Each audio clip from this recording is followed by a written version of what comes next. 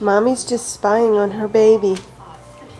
And Nicole is trying to walk every now and then. So maybe I'll catch something on camera. Oh, now you're just eating paper, huh?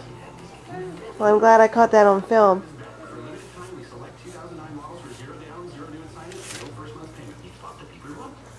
Yeah, you're a pretty good scooter.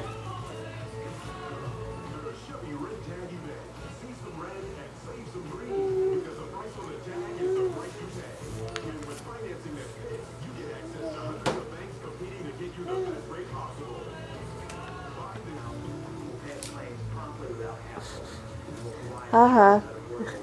Allie stole your newspaper. Allie, you're a sneak.